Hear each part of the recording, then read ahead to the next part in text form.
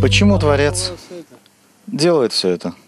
Он наслаждается от того, что дает тебе удары.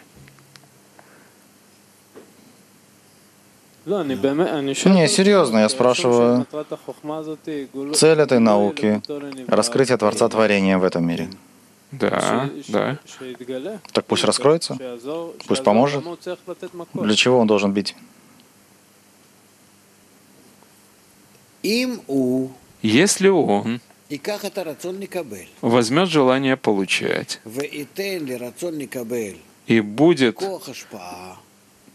давать желанию получать си силу отдачи и будет развивать силу отдачи настолько, что оно будет не знаю каким по уровню, эта сила отдачи ничего не почувствует, потому что не будет против него силы получения, не будет у него различия между светом и тьмой. Потому что мы творение, мы должны включать два этих понятия. Это и есть наша реальность.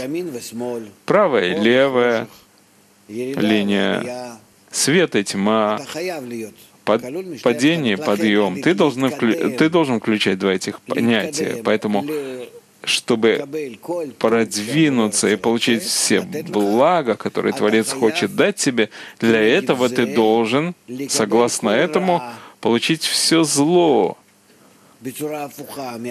видя противоположным всем благам, чтобы было у тебя тоже.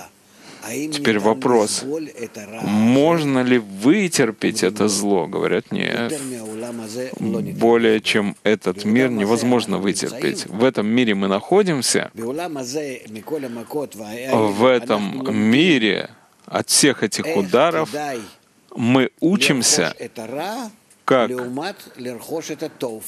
Стоит э, обрести зло по сравнению с тем, как обрести добро, и, подго- и продвигаться по двум линиям. Ты понимаешь? И тогда мы движемся по средней линии. Немного плохо, немного добра. Немного зла, немного добра. И зло тоже не по отношению к нашим получающим килим, а по отношению к недостатку отдачи.